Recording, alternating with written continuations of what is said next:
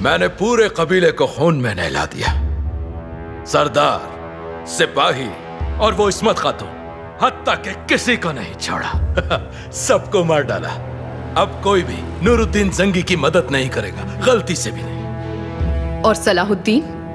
मैंने सुरैया के बाप को उसकी आँखों के सामने कत्ल कर दिया।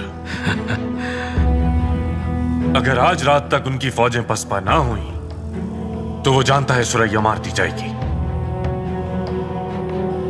सलाहुद्दीन को ऐसी चीज़ें रोक नहीं सकती कभी।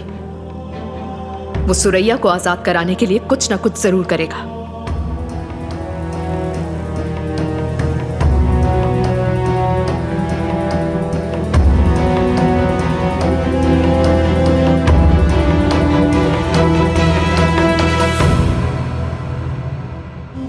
हमें आज रात तक सुरैया को बचाना है, वरना जंग छिड़ जाएगी, और सुरैया के लिए खतरनाक होगी। अस्कलान में दाखिल होने के लिए तुम्हारी मदद चाहिए। किले के अतराफ इस कदर फौज है कि छुप कर दाखिल होना भी बहुत मुश्किल है। सोफिया ठीक कहती है। जब हम सुरैया को बचाने यहाँ आए थे हमने भी बहुत फौजी देखे थे। अगर उन्हें खदशा हुआ कि हम सुरैया को बचाने आएँगे तो पहरा और भी सख्त हो जाएगा।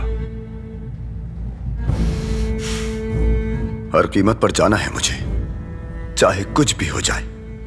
लेकिन ऐसा होना मुमकिन नहीं। सुरैया को मैं निकाल कर लाऊँगी।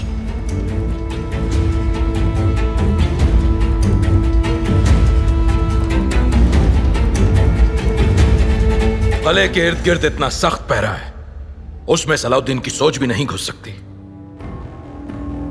लेकिन फिर भी एहतियातन फौजियों की तादाद बढ़ा दो।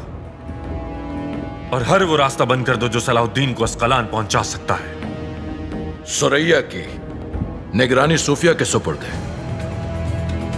उसे तो अब मौत भी हमारी कैद में आएगी। फ़िक्र की बात नहीं। एक तहखाने से जंगल का रास्ता निकलता है। उसके दरवाजे तक सुरैया को ला सकती हूँ उससे आगे नहीं जा सकती मैं। आपको वहाँ आना पड़ेगा। लेकिन वहाँ हर तरफ़ फौजी होंगे। ये सब मुझ पर छोड़ दो। अगर हमें दुश्मन की सारी फौज को भी मारना पड़ा तो मार देंगे। तुम सिर्फ़ सुरैया को तहखाने के दरवाजे पे जंगल तक ले आओ। और अगर कोई गड़बड़ हो जाए तो कबूतर के हाथ पैगाम भेज देना। दमिर जान यही तुम्हारा इंतज़ार करेगा। जैसा आपका हुक्म। अब तुम अस्कलान चली जाओ। सुरैया को निकालते ही अस्कलान हमारा हो जाएगा। अपनी जानों पर खेल कर बचाएँगे हम उसको।